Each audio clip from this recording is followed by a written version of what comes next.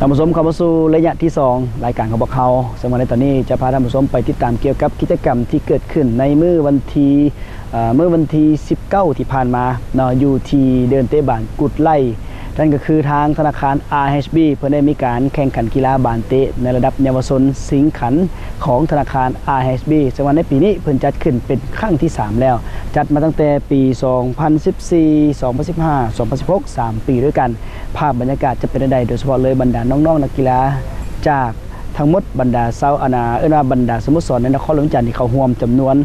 3เกือบ3ห้อยกว่าน้องเนาะและภาพบรรยากาศและผลการแข่งขันจะเป็นใดสามารถติดตามชมได้ และพร้อมเดียวกันนั้นพวกเขามีผลของการแข่งขันบานเตะลาวพรีเมร์ลีกในเมื่อวันเสาร์กับวันอาทิตย์ที่ผ่านมา มาเบิ่งว่าไผ่แดจะเก็บ3คะแนนได้และทีมใดขึ้นน้ำเป็นอันดับที่หนึ่งในปัจจุบันนี้ พวกเขาสามารถติดตามได้ และก็มีโปรแกรมการแข่งขันมืออื่นนี้นะที่จะมีการแข่งขันวิธีสนามกีฬาของสโมสรล้านสร้างยูไนเต็ดพร้อมเดียวกันนั้นในเมื้อวันเสาร์ก็มีอีกหนึ่งคู่แต่ตอนนี้พวกเขาไปชมรายละเอียดของสองข่าวนี้กันก่อน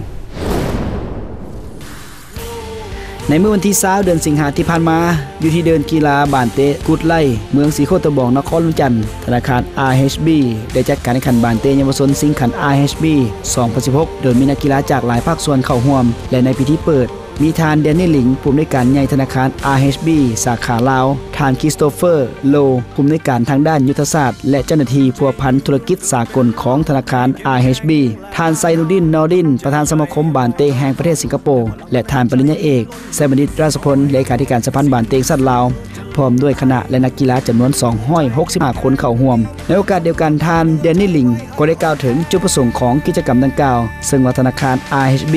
ได้จัดการแข่งขันมาแล้ว 2 ครั้ง ครั้งนี้เป็นครั้งที่ 3 เพื่อเสริมสร้างให้นักกีฬารุ่นสืบทอดใช้เวลาว่างให้เป็นประโยชน์และโดยเฉพาะในกิจกรรมในยามพักเรียนสำหรับการแข่งขันในครั้งนี้มีทีมที่เข้าร่วมแข่งขันทั้งหมดจำนวน 16 ทีม แบ่งออกเป็น 2 กลุ่ม กลุ่มที่ 1 ประกอบมีสโมสรลัก5สโมสรโตโยต้า1สโมสร BS สโมสรสร้างน้อย 3 สโมสรปกส1สโมสรกองทัพ 1 สโมสรสร้างน้อย 1 และสโมสรคำเสื่อม ส่วนกลุ่ม B ประกอบมีสโมสรลาวโตโยต้าทีม 2 สโมสรสร้างน้อยทีม2สโมสรตะวัน สโมสรกุดไล่สโมสรแสงวิไซสโมสรกระทรวงป้องกันความสงบทีม2สโมสรกระทรวงป้องกันประเทศทีม2และศูนย์ความหวังใหม่ ซึ่งการแข่งขันเป็นการแข่งขันใส่ระบบแข่งขันครบกันหมดเอาทีมที่มีคะแนนดี เป็นอันดับที่ 1 2 3 และ 4 ตามลำดับ และสรุปผลของการแข่งขันชนะเลิศได้แก่สโมสรตะวัน อันดับที่ 2 ได้แก่ทีมจากกระทรวงป้องกันความสงบทีม 1 และอันดับที่ 3 ได้แก่ทีมกระทรวงป้องกันความสงบทีม 3 ส่วนอันดับทีสี่4 ได้แก่นักกีฬาจากสโมสรลาวโตโยต้าทีม